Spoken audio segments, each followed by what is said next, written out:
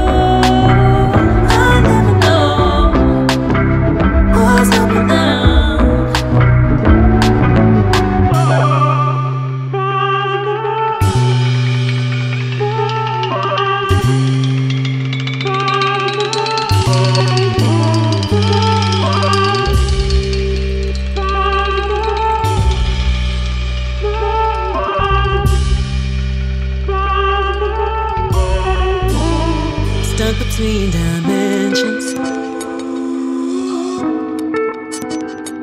In a space between the spaces. My conscience push and pull. I dangle off the axis. We're forever right above me.